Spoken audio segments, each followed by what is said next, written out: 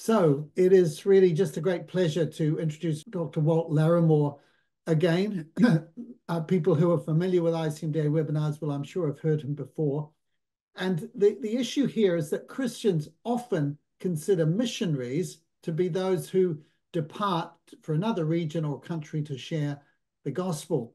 However, scripture teaches us that we're to be flavor, flavorful salt and attractive light every day where God actually has us now. And the biblical principles for everyday missionaries are surprisingly simple and fruitful, what the Lord might call an easy yoke indeed. In fact, Jesus, the Lord Himself, is already doing everything necessary to make your daily participation in His everyday missionary uh, work stunningly effective. And so, Walt Walt uh, Larimore, MD, is a family physician He's the co-author of CMDA's uh, The Saline Solution, which inspired greatly and provided the basis for the saline process run by IHS Global, which has been used by ICMDA and other organizations uh, as members of the International Saline Partnership all over the world. But, but uh, Walt and Bill Peel is where it all started a long, long time ago. Walt's also helped to develop CMDA US's GRACE prescriptions and was the inspiration for their new series, Faith Prescriptions. He's been recognized in International Health Professionals of the Year and International Health Scientists of the Year, as well as the 2000 Intellectuals of the 21st Century. I'm not sure what number you were, Walt, in the 2000, but uh, congratulations for being included in that. And we're really just thrilled to have you back here again and really looking forward to what you have to say. So over to you, brother. Thank you. Thank you, Peter. It's good to be had. I guess we could say. I imagine I was number two thousand in that in that list. But I, I have come to you from the heart of the Rocky Mountains in the United States. We're in the middle of a blizzard here and the middle of a polar vortex. So I'm I'm bundled up, but my prayer is that the communion of fellowship that we all have over thousands of miles and the leading and the precepts of God's Spirit and God's Word will warm us all today uh, deeply in our hearts. And so uh, let me just pray as we begin. So, Father, my my prayer is that it would be you who would teach today.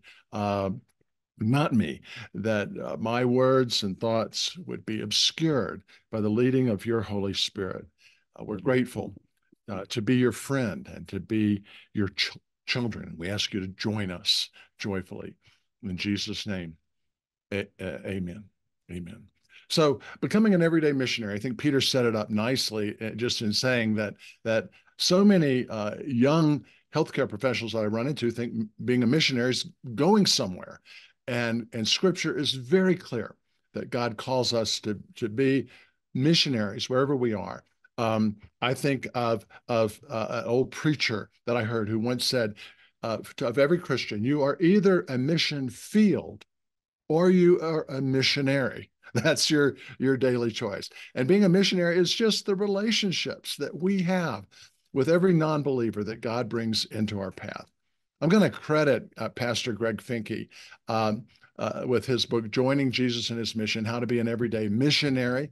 Uh, it's available in English and in Spanish. And so if you chose to delve a little bit deeper into these precepts, that's a, an excellent resource for doing so. But becoming an everyday missionary is based upon the principle that you do not have to learn anything. There's no techniques, there's no memorization, there's no training, there's no special degrees or going to seminary. It's just simply being filled with the Holy Spirit.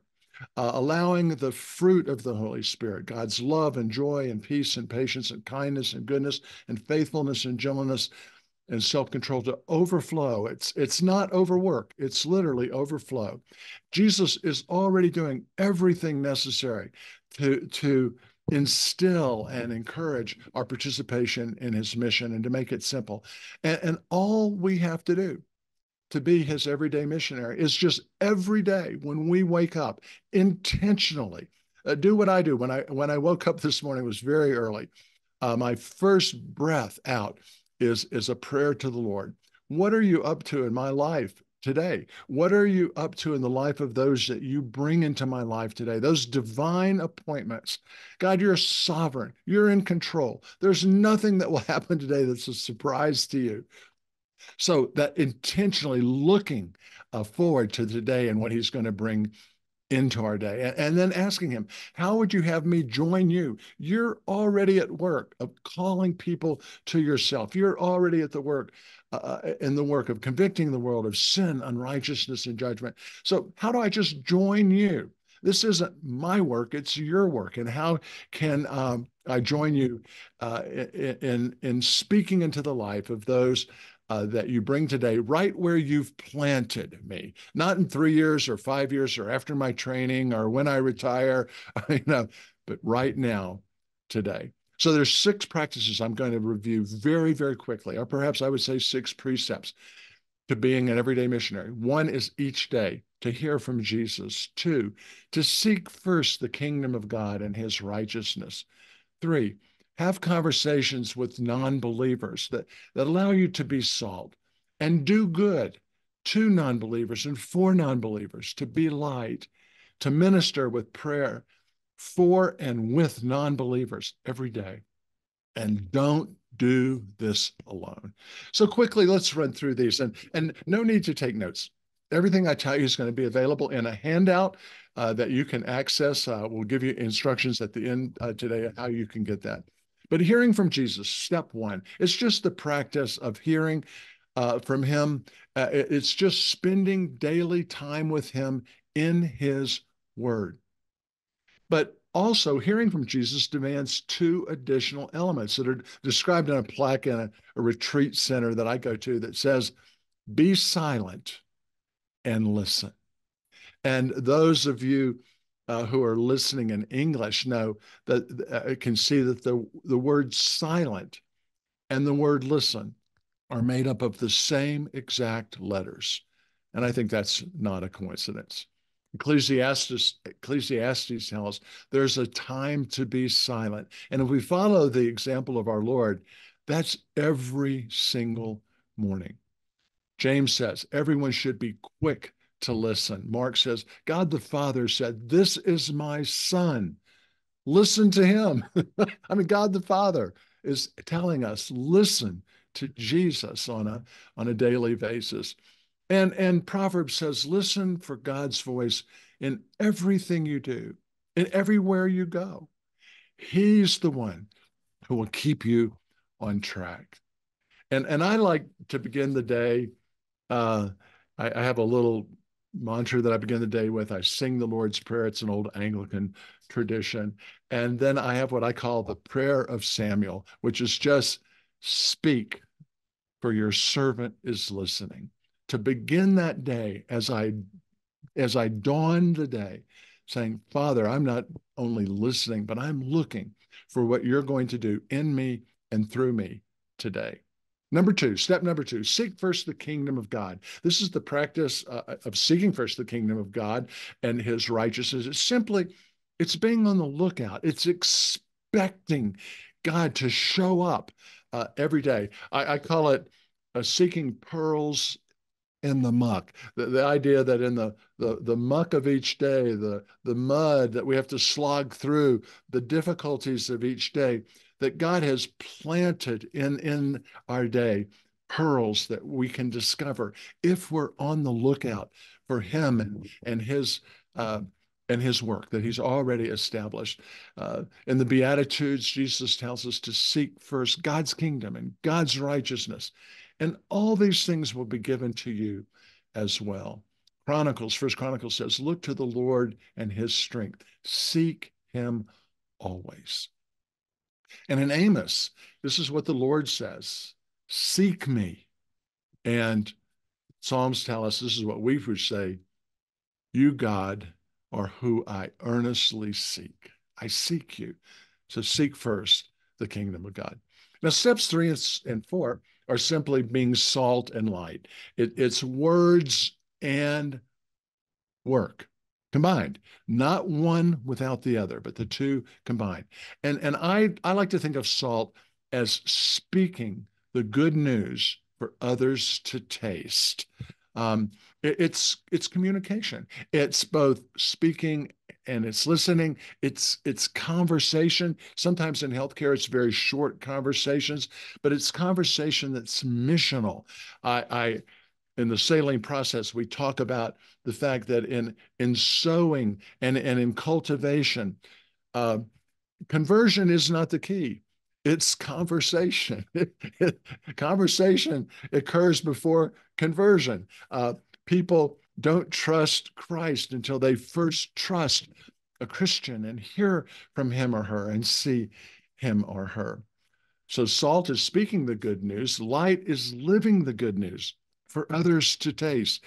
And it involves competence, it, it involves doing excellent work for others, doing good work for others. If you're in school, it's it involves becoming the very best student you can. In the healthcare profession, it involves being the very best healthcare professional that you can be. God demands competence, excellence to do everything we do as unto him. It also involves our character demonstrating integrity and honesty. And in many areas around the world, just demonstrating integrity and honesty is a bright light of, of witness. And then there's compassion, simply displaying kindness and service to everyone we meet every day, no matter how busy, no matter how harried our schedule is, that we slow down just a bit, that our character and compassion, that our light will shine through salt that is not too salty, light that's not too bright, salt that's flavorful, light that's winsome are attractive. So it's speaking the good news and living the good news. And my model for that is Jesus himself. Just to give a couple of examples, in Matthew, Jesus went proclaiming the good news of the kingdom and healing. He didn't do one or the other. He did both. And when he sends us out as his disciples, he gives us that same charge. In Luke, it says he sent them out to proclaim the kingdom of God and to heal the sick. And I suspect most of you listening today are skilled, are becoming skilled in healing the sick. But we also have upon us the commission to proclaim the kingdom of God, to be salt and light as we do that to be flavorful salt with words. You've seen the, the in the Beatitudes, you're salt of the earth, but if the salt loses its saltiness, how can it be made salty again? It's no longer good for anything except to be thrown out and tamp and trampled underfoot. So, so no doubt we can be unsalty, but also we can be too salty.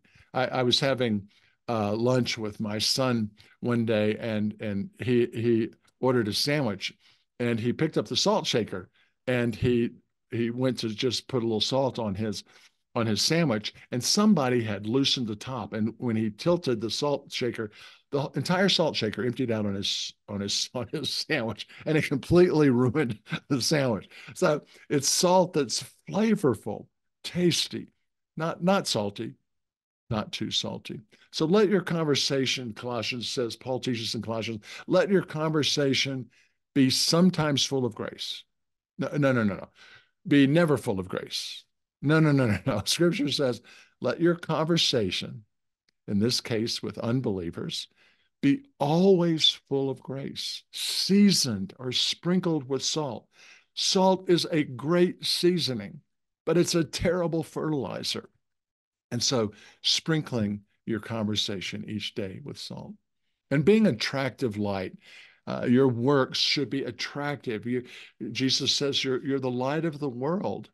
Uh, uh, you know, a, a, town on a hill cannot be hidden. Neither do people put a lamp under a bowl. Instead, they put it on a stand and it gives light for everyone to see. And in the same way, my brothers and sisters, we're to let our light shine before others that, that they may see our good deeds. Not just hear our good words, but see our good deeds and glorify God who is in heaven. So, step three of being an everyday missionary is having conversations. So, it's the practice of intentionally seeking relationship by having conversation with the pre believers that he brings into your life. Second Corinthians, Paul teaches that God has committed to us the message of reconcili- uh, reconciliation. We're therefore Christ's ambassadors.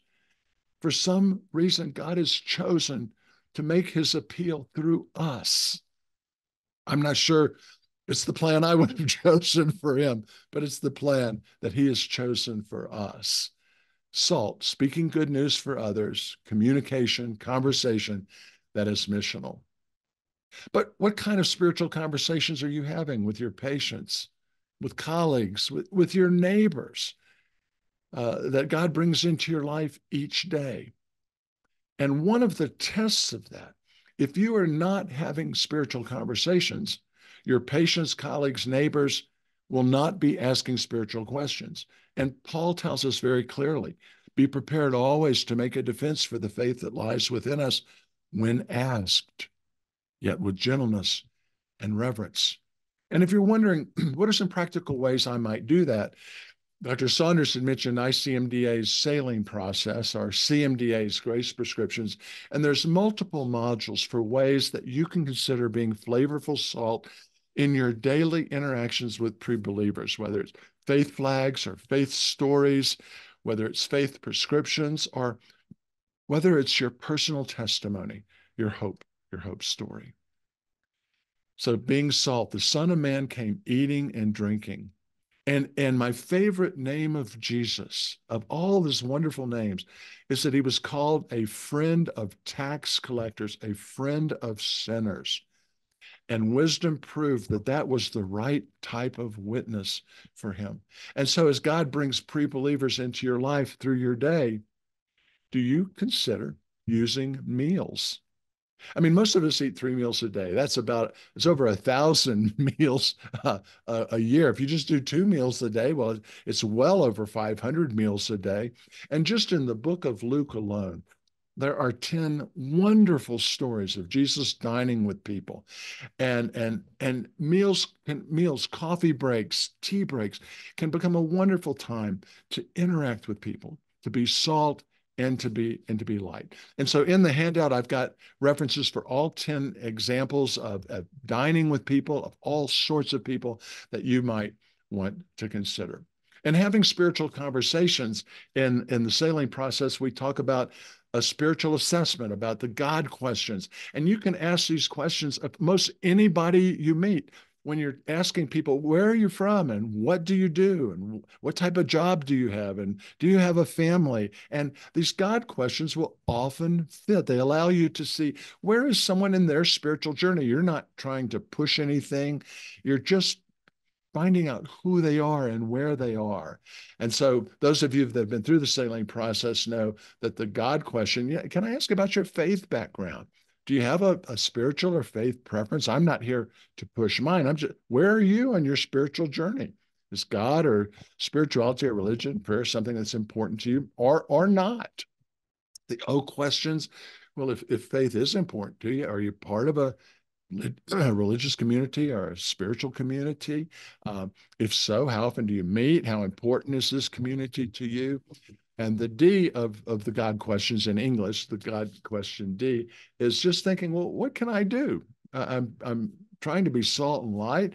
So, is there a step I can help you with? Can I help you grow in, in, your spiritual life? Do you need any spiritual support? Do you need any prayer? Can I pray with you? Can I pray for you? Can I have others pray for you? It's not something you do with every person every day, but as the Holy Spirit leads, having spiritual conversations. Step four, being an everyday missionary, is doing good work for for people. It's it's uh, the, the the the being excellent in what you do. It's the practice of meeting needs in the name of and empowered by the Holy Spirit. It's walking through the day in the power of the Holy Spirit, but leaving the results up to Him. It's by being light, making the kingdom and grace of God a, little more visible, a little more recognizable to people that he brings into your life every day. Mother Teresa says, Not all of us can do great things, but we can all do small things with great love. And Dr. Seuss, that famous theologian, said, To the world, you may be one person, but to one person today, today, you may be the world. Remembering that light, living the good news, is our competence, our character, our compassion. And Paul teaches in Ephesians, for it's grace you've been saved through faith. It's not of yourselves. It's not by works that you can boast. So works in no way save us. Our, our faith saves us. But once saved, once called into the kingdom, once adopted by the Father, once his child, we are commissioned to do good works. In fact, Paul says, for we are God's handiwork. We're created in Christ to do good works. And these aren't just things we think of. These are works that God prepared for us to do before time existed. He waits to join you as he calls you into his work, into the lives he's calling. Scripture tells us what in James, what good is it if someone claims to have faith and has no deeds? You foolish person. Don't you know that the evidence that faith without deeds is useless? A person considered righteous by what we do and not faith alone. So faith without deeds is dead. Jesus Christ, Titus, we, we read in Titus, gave himself to us to redeem all wickedness and to purify himself, purify for himself a people that are his very own. That's you and me, eager to do what is good, what is right. And I know, brothers and sisters, most of you are already doing this, knowing that one day we'll all appear before the judgment of Christ, receiving a reward for what we've done while in the body. Works don't save us, but they're proof of our salvation. Uh, and we'll be and we'll judge for them, whether good or bad. So my question for you, brothers and sisters, not only what is God doing in you, but what is he doing through you each and every day? And then finally, our second to last step is ministering with prayer. And let me be very clear about this. The practice of prayer is not saying a, a, a perfect prayer with the perfect words. It's simply inviting our King to come into the needs, troubles, the distress, the disease, the problems of those we interact with on a daily basis. Often uh, when I offer to pray with a neighbor or a colleague or a friend or a or a patient, I, I may say something like, "Would it be okay if I, I I prayed about this for you?" And and it's I've had three experiences in over 40 years of practice where patients have have turned down prayer, which is fine. I, I offer it. And if they say no, that's fine. Um, but uh, all I find that most people expect that I'll pray for them later. but if I say, would it be okay if I pray for you about this? And if they say yes, I say, well, let's let's just pray right now. And I invite my king to join me as a healthcare professional and to join my patient or to join join me as a friend to to enter into my friend or my neighbor's troubles and to bring us together his wisdom. What's God's will for you, my brothers and sisters? It's clear in scripture. We are to rejoice always. We are to pray without ceasing. It's to be spiritual breathing throughout the day. We can't survive without spiritual breathing. We're pray without ceasing. And we're to give thanks in all circumstances. Why? Because these three practices are the will of God for us in Christ Jesus. In Timothy, Paul says, first of all, first of all, I urge that supplications, prayer, intercessions, and thanksgiving be made for all. In Philippians, he says, Brothers and sisters, the world's on fire, but do not be anxious about anything. But in everything, in every appointment, in every interaction, in every prayer and, supplication with thanksgiving, let your requests be made known to God. And the result, the fruit of the Spirit, the peace of God, which passes all understanding, will guard our hearts and minds in Christ, in Christ Jesus. John Bunyan says you can do you can do more than pray after you've prayed, but you cannot do more than pray before you've prayed. And I love the old theologian Samuel Chadwick, who says Satan dreads nothing more but prayer. His, his, his one successful plan is to keep the saints from praying. He, he doesn't fear, you know, prayerless studies, prayerless work, prayerless religion. He laughs at our work, he mocks at our wisdom, but he trembles, brothers and sisters, he trembles when we pray. Don't be a prayerless Christian. Daily, with each person you meet, approach the throne of grace with confidence so that you can receive mercy and find grace to help you in the time of need when you're seeing your patients, when you're visiting with friends or colleagues or other students. Why? Because, brothers and sisters, as a follower of Jesus, indwelled and empowered by the Holy Spirit, you are coated with, covered with, clothed with the righteousness of Christ. And the prayer of you, brothers and sisters, the prayer of a righteous person is powerful and effective.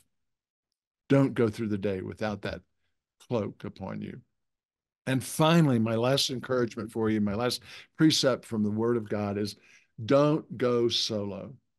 The practice of not going solos, the practice of ministering as part of a faith community with other everyday missionaries. Everyday missionaries don't go it alone. You can't do this alone. You're not designed to. You're not called to. You're not commissioned to. You're designed to be part of the body of Christ. You are not the whole body of Christ. You're just a part of the body of Christ, but you are a critical, crucial part of the body of Christ. So, how, how can you build a small community where you are of everyday missionaries. Well, let me just suggest one that I've taught for well over 25 years now. It's been used in countries around the world by young men and women who I've had the privilege of, of training as they've become healthcare missionaries. And it's called the Andrew Project. Um, it's most recently been taught in the Truth Project, which has gone around the world. And, and let me just give you uh, this is just one way of considering building a small team of everyday missionaries. So team up with one or more other believers where you work in your neighborhood, in your church.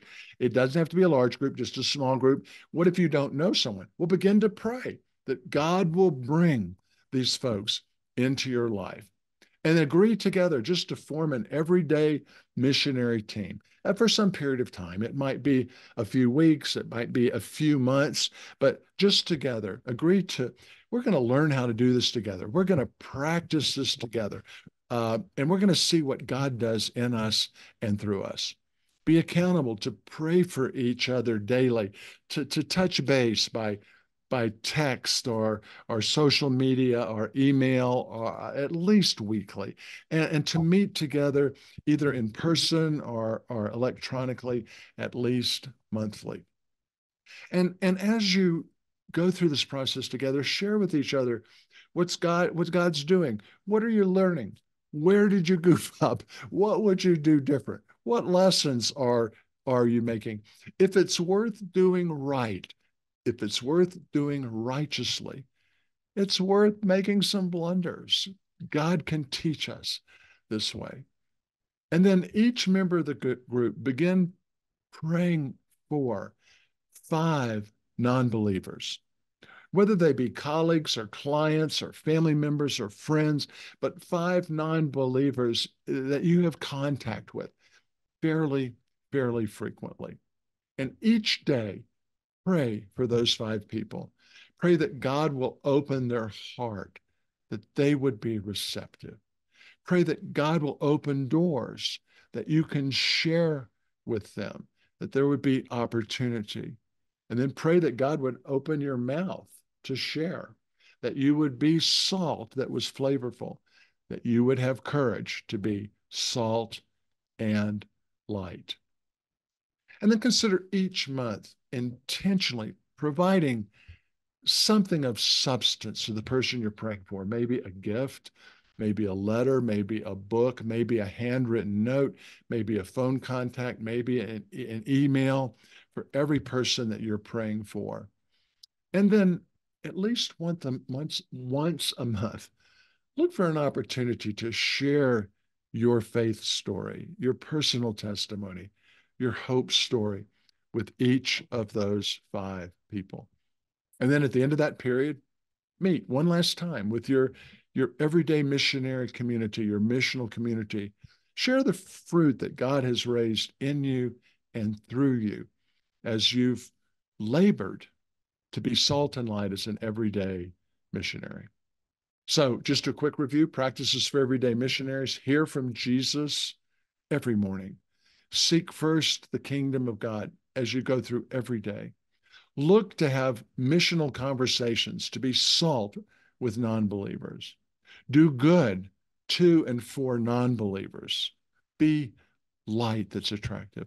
Minister with prayer for them, uh, for and with them, and don't go solo.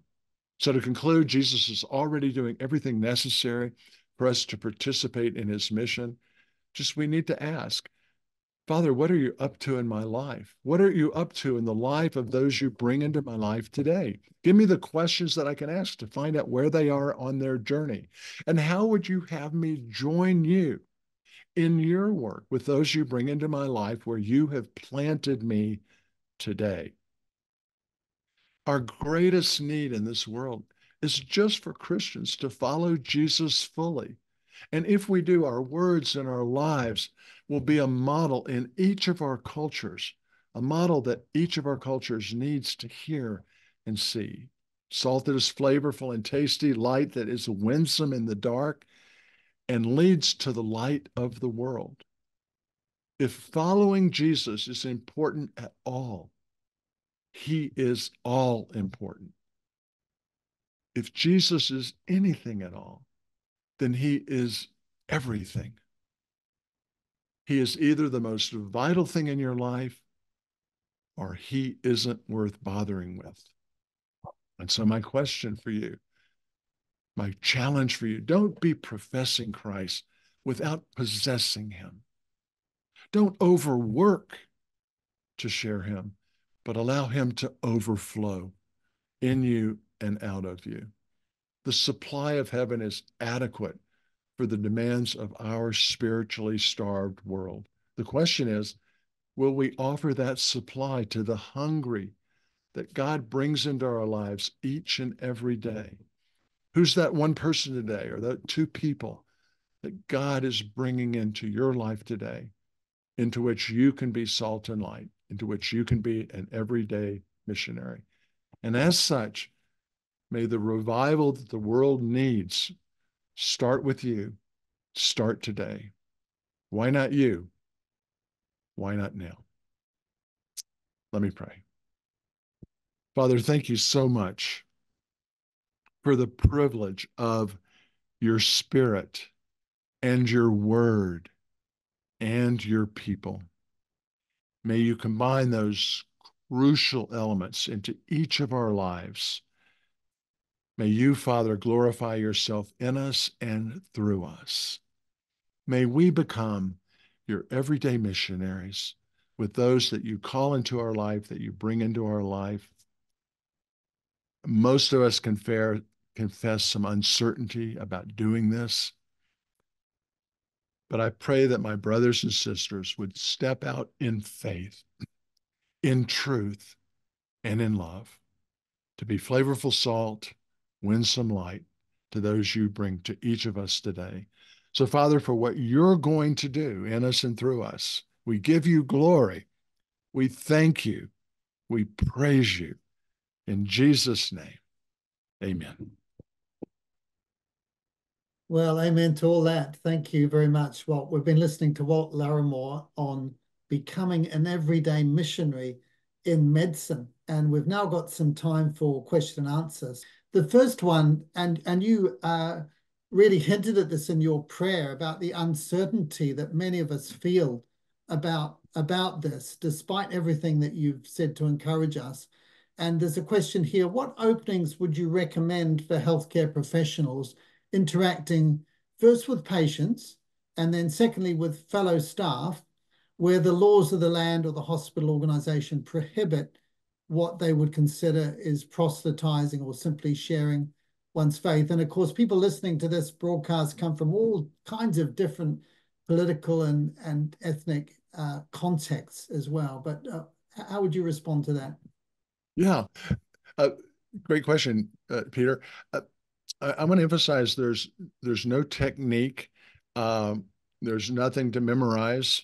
Uh, this is simply loving people where they are at, meeting them where they're at. There's no law against that. There's no precept against that. There's no jail time for, for that. Uh, people have a, a God shaped emptiness in their life. And at some point, God is going to begin to knock on their door. Uh, Uh, uh, Jesus tells us that he'll knock and that those that invite him in, he will come in and dine with them. And so, loving and serving people in the name of Christ is something that we all can do every day and can do naturally. But if we are salt that is flavorful and light that is attractive, it will generate interest. It will generate questions. And it's always legal to answer people's questions. Now, answer them wisely. In fact, I, I mentioned uh, where Paul says, Be prepared always to make a defense for the faith that lies within you when asked. And then he gives two caveats in that scripture. He says, uh, uh, to do it gently and with reverence. So gently, the, the, the Greek word that's translated gently there is a root word for breastfeeding, for feeding a, a, a, an infant. It's a it's a very uh, intimate. It's a very gentle process of, of feeding a, a newborn, and also reverence. It, it, it refers to if someone asks about my faith, that I I'm approaching the holy of holies. This is a holy moment. And so, if no one's asking you about your faith, then my question for you is Are you being salt that's recognizable? Are you being light that's recognizable? And if not, then to consider some of these precepts, some of these principles. Uh, and we do that in the saline process of, of using faith flags, faith stories, even faith prescriptions when appropriate and with permission uh, with our patient. So this may not be something that you do every day. It may, it certainly won't be something with, eh, I mean, you'll do good work with every patient, but salt may vary from patient to patient. But it's going into that, in this case, the, the clinical situation, intentionally looking for God is already at work and simply blowing wind on the on the the the spark that the spirit has I I I love the the model that that you can't light a match you can't light a fire on wet firewood you know that that god's spirit already has to be at work at work. And so some of those spiritual assessment questions become very easy ways to find out where my my patient is where my colleague is where my friend is spiritually and whether they have any interest in spirituality or not. So peter a, a very few quick uh, uh considerations to a very important question no, thanks very much. Now, right at the beginning, Walt, you mentioned uh, you gave a book recommendation quite quickly, and we will, we'll, when we write to people afterwards, we'll send information on that. But a couple of people have just asked about specific book recommendations that you might have. You mentioned the Saline Solution course, of, of course, but anything else apart from that? Yeah, uh, well, the first, the, the one that really opened my mind to this idea uh, quite a long time ago was a fellow named Greg Finke. That's spelled F I N K E. Uh, a former pastor now has a ministry called Dwelling uh, two. I think it's two fourteen. Dwelling two fourteen. Um, in, in, reference to that verse that that Jesus uh, dwelt among us. He tabernacled with us. He he lived with us. And so his book is called Joining Jesus on His Mission: How to Be a, an Everyday Missionary. Um, and then the Andrew Project comes out of the Truth Project that mm-hmm. originated here uh, in the United States. Of course, the saline process uh, that we have at ICMDA uh, is an excellent source for learning how to do this. And then the you mentioned earlier, Peter, the new uh, faith prescription modules that were produced by uh, CMDA in the US. I think they're up now to close to 30 15 minute modules that are mm. very uh, accessible and allow small groups uh, to talk about uh, how to take a spiritual assessment, how to be salt and light um, with patients, how to share faith flags and faith stories. And so all of those resources are available uh, through us here at ICMDA. Great. Well, and we'll give people a reference to those too. Uh, Reverend Daniel is asking, these principles work only for healthcare professionals or can they be used uh, every day by all believers? I, I think that's probably a, a no-brainer, but what, what well, Dan, is it Daniel who's doing our Russian interpretation? And I would say, da, da, da. uh, no, the, everything that's in the saline process, everything that's in grace prescriptions and faith prescriptions are just biblical principles with a, a healthcare professional coat put on them. So, Daniel, absolutely everything that we've talked about here is being an is how to be an everyday missionary wherever God plants you. Um, it may be on the seat of a plane or a bus or a train. Uh, it may be in a lunchroom. It may be in a library. It may be uh, in a park where where you have what would seem to be a coincidental, just brief interaction. But to go into that brief interaction, asking the question, God, what are you doing here, if if anything? and how can I join you? That intentionality um, of knowing that I, I, think of it this way fellowship and worship are interactions that I can only have with other believers, with other followers of Jesus.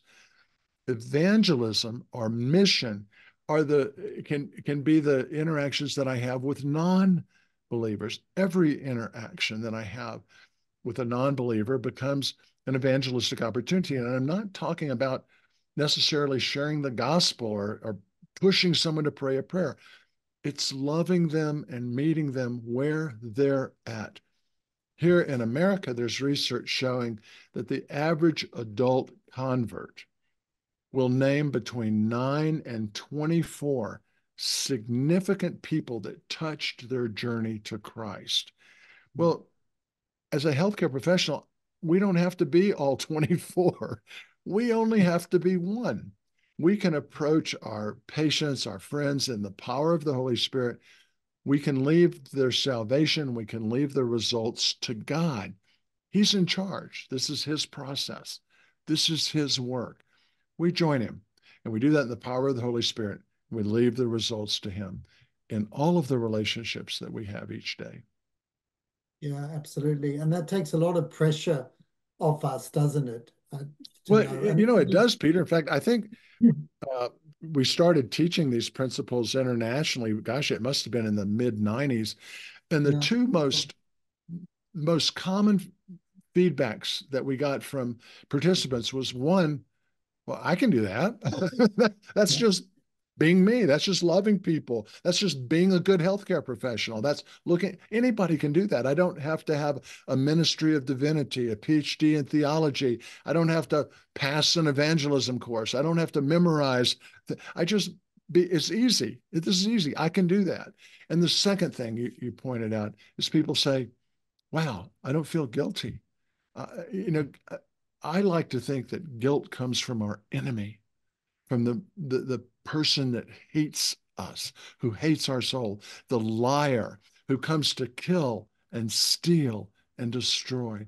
But Jesus came that we might have life and that we might have it abundantly. And so, brothers and sisters, if you're feeling his conviction, well, that's from him. But if it's guilt, it's from our enemy. And, and the and, and any process that's biblical will fill us with joy and peace and patience and kindness and goodness and faithfulness and gentleness and self control. Mm. Thanks, Walden. I just love the way that you've emphasized all the way through the sovereignty of God, that this is His work, that we're joining Him in it, that it's not about overwork, but overflow. And of course, uh, what follows from that is, is just how key prayer is. So you started with prayer, you ended with prayer because it's God who opens doors, who gives opportunities, who gives us the courage to speak, who gives us the words to say. who opens people's hearts to hear and understand. So it's really just a matter of being involved with him. Uh, do, do you want to say anything? And, and, and you talked so so much too about being sensitive to the leading of the Holy Spirit in these situations. You know, if a door's not open, you don't have to crash your way through it. You wait for for God to do it. Just so just any other lessons you've learned uh, along those lines in terms of walking with the Spirit in this whole process. Yeah. I, I, would urge my brothers and sisters to not separate your spiritual life from your secular life, to not to not separate who you are in Jesus from who you are as a healthcare professional, but to merge those two together. And is it a bit scary and unnerving uh, to to begin to be salt and light? Well, it is. But I remember as a young physician doing my first spinal tap. I remember uh, doing my first uh, uh urinary catheterization. I remember uh, starting my first IV and my first blood draw. It, it's it's scary to start start doing something new, but if it's worth doing, it's worth doing. And these things that we learn as healthcare professionals are life saving. And so, beginning the process with a small community of other like minded believers, of beginning to be an everyday missionary and learning that together. And is it a little bit scary and unnerving? Absolutely. But it's not just life saving, it's eternity and life giving. And so, blessings on the journey to each of you. Yeah, absolutely. And and thanks for emphasizing too that that fear, anxiety is is normal, that it's a learning process, that we make mistakes along the way, that doesn't matter, but uh, God will gradually teach us. Now you mentioned a number of the of the uh, skills that are taught in Saline Solution, and just wonder if we could come back to a few of those. Can you just explain to people who perhaps not heard what a what is a faith flag? Yeah. That's some well, kind of American thing, is it? Where you put a a flag out the front of your property, or what, what's a faith flag? Yeah. Well, it kind of, it, it it came to me many many years ago. Uh, I'm a, a, student of history, and I love the stories of the armadas uh, when the when the naval armadas sailed the world, and and uh, and even today, uh, boats will fly flags that tell you uh, who their sovereign is, what what country they're flagged to, uh, who they're serving. Uh, in the old Armada days, the flags uh, told observers uh, not only who you were serving, who you were sailing for, but where you were going and what you were carrying, whether you were a military ship or a commercial ship. For example, uh, my wife and I were at a port uh, here in the United States, and we noticed the fishing boats coming in and out they would fly the a flag saying what fish they had as they were coming back into port, what fish they had caught, and how many they had, caught. So I had this idea that can we, in our conversation through the day, have little faith flags uh, of things that will indicate to to our patients or to our colleagues that spirituality or spiritual things are something that are meaningful to us, that that are open to to us. Uh, it could be a, a simple little statement about, well, you know, God bless you uh, or I'll be if it's okay, I'll be praying for you as you as you go through this decision making process, or or or maybe a, a faith story. You know, uh, I, I, I, understand you're wrestling with this decision about parenting your child. I'll make that up, and I, and so I remember when Barb and I were were raising Kate and Scott. Uh, parenting was really difficult, and I'm so glad for the principles that we learned from the Bible as as we raised them. It's just a little little faith flag. Uh, they're, they're, not memorized. They they just come out of overflow as you're mm-hmm. trying to indicate to a patient or colleague or friend that spirituality, religion, relationship with Christ, Jesus is something that's important to you. You just kind of pitch it out there. You you don't look for expect a response, but you see a response. And it's real easy for our Christian patients and friends to pick up on that real quickly. Um, and then our non our non Christian uh, patients will hear that and listen, and they'll know that this is a safe area if they want to discuss it in the future or even that day. Mm, yeah, thanks so much. Now you talked about personal testimony as well, and uh, perhaps can you illustrate that for us? Uh, how would you share a personal testimony, and when would you do it within a consultation? And you know, how Yeah. long, what kind of content, do you vary it on the person? Do you have a, any tips about that? Yeah, I, well, any intervention that we that we offer patients should be with permission, with respect, with sensitivity, and when indicated. So I don't share a testimony with everybody or uh, at all, but it'll often come as a faith story or as a hope story. And for me, it may it may begin this way. You know, I remember when I was younger wrestling with with something like this, whatever it it might be, and and then a very brief story of of what it was like not knowing Jesus, briefly how I met him, and what life has been like since he came into my life. In other words, whatever the need is that I and my patient, or I and my colleague, or am I and my friend share, I'm just sharing my story of how Jesus or faith or the Bible or biblical precepts helped meet that need for me. So it's it's I call it my hope story or my anchor story or my my faith story.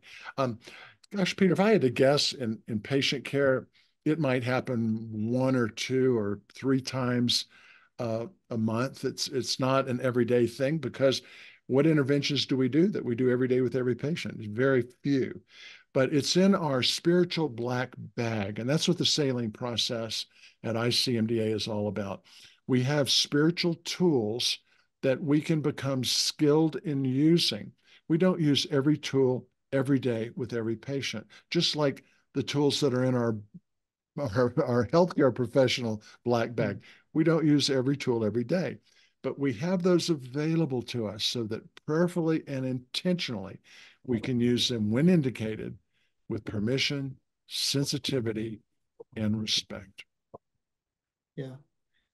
Excellent. And uh, just to come back to the question of opposition again, we started, didn't we, with with uh, talking about difficult contexts, and someone shared a story in the questions there anonymously about uh, their wife being in hospital, having someone opposite who'd attempted suicide, was in distress, and she sought to comfort her and offered to read the Bible. And, and a nurse reacted, and a Roman Catholic patient in the next bed reacted, and and and so on. It was very difficult. And and of course, you know, this is a spiritual battle, and we will face opposition, and there will be difficult conversations and settings what what would you have advised someone in that situation? A apart from i'm sure to say don't give don't give up.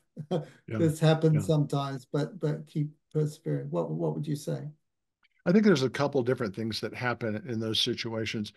One is uh, is persecution is active opposition. And and jesus not only said that that will happen he said expect that to happen. He mm. -hmm. says they hated me they will hate you. He was called to suffer. He calls us to suffer.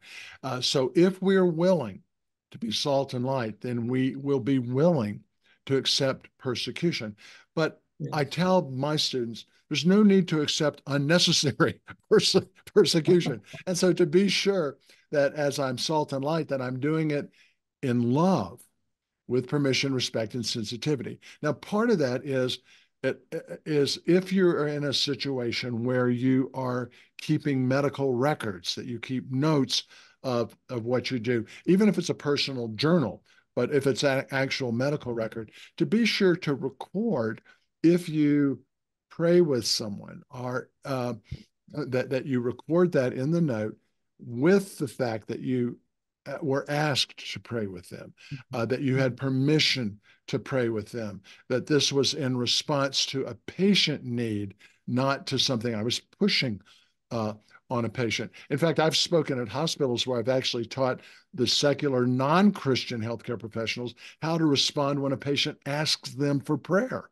Uh, yeah. uh, because that that happens in, in the healthcare healthcare situation. So to to be able to record what you've done, you're not hiding it. You're just meeting a patient's need that they request, answering a question that they have with love. But if there's persecution, being prepared to accept that joyfully uh, because uh, Jesus says that the reward that we will have for that persecution is great in, in the Beatitudes. And so, for those of us that have the opportunity to walk suffering and to walk persecution with and for our Lord, mm-hmm. is going to result in great, great re- reward. Not that we look for it, but that we know that it will come as we become salt and light.